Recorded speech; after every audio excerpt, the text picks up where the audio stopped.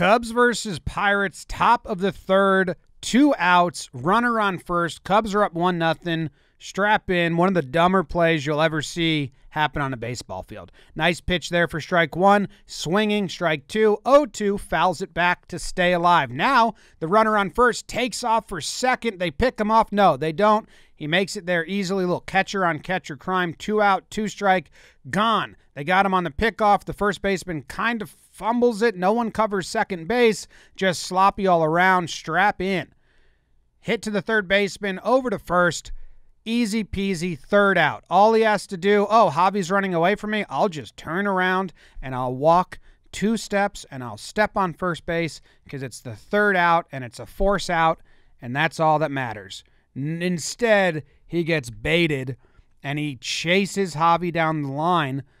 Doesn't make any sense. Now, I think what Javi Baez is doing is he's trying to stay in a rundown because he believes that if the runner scores before he's tagged, the run will count. But I just did a quick Google search of the rules that say no, the run w- still wouldn't count because Javi is forced to go to first, so he has to get the first before the run to count. So at this point, he could still just tag Javi. he could still just tag Javi Baez. He could just run two more steps and tag him. Now he's got him pinned. Javi Baez is nowhere to go. He throws to the catcher, who tries to tag the runner out. He's called safe by both Javi and the ump.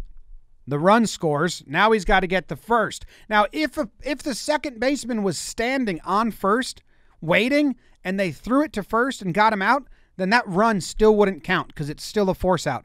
But the second baseman, the right fielder, no one on the Pirates knew what was going on. It gets past him. It gets past the guy backing up. Now Javi's going to second base. They're going to throw it over there, and he's going to miss it. He's going to go for the tag instead of just catching it. And Javi's like, I'm good, right? I'm good? Yeah, yeah, you're good. And they're just belly laughing in the dugout. They're like, how the hell did the Pirates fall for that? How did any of that make sense? Rizzo can't control himself.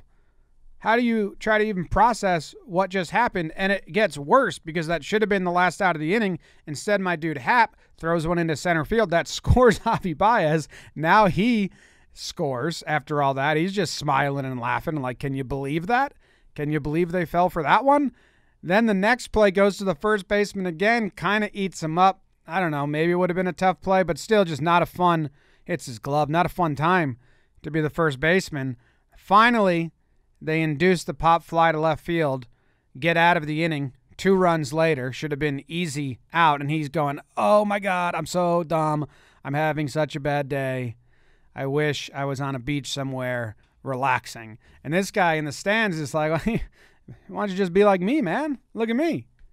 Getting some sun, drinking some beer, making some faces. So, yeah, great fan, bad play. Ian Happ, he's on the Cubs. He was part of this video. He's got a podcast on our network. It's called The Compound. They'll probably be talking about this play and sharing a good laugh. So be on the lookout for that. Subscribe to The Compound. Check out the YouTube channel. Dumb baseball.